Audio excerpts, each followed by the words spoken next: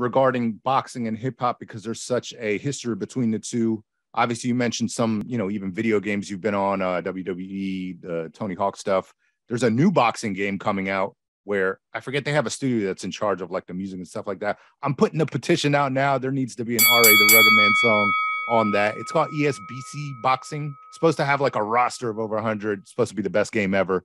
I don't know if you're in tune with the video games and stuff like that, or if you've ever been, you know, interested in doing soundtrack music for a boxing game. Well, it, you know, like I said, I'm my own manager. So if you have a connection with the video game, give them a call. Say, yo, you need RA the Rugged Man. I'll give you the, I'll give you my uh finder's fee percentage and I'll do the song. Yo, hundred percent. I'm gonna put that clip out. We'll put it on, and uh, I'm gonna tag Todd Grisham, who works with uh, the folks over there. He's on DAZN as well. So yeah, if we could get you on there. I mean, oh, it's a DAZN game.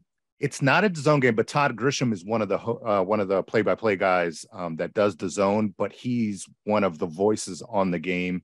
I mean, they've signed you know, like I said, over 100 licensed boxers. They've got classic guys, everyone from Ali to Jack Johnson to uh, present day guys, Ryan Garcia, Canelo. So the, um, mm-hmm. you know, the, the, the amount of roster, amount of people that they have is incredible. So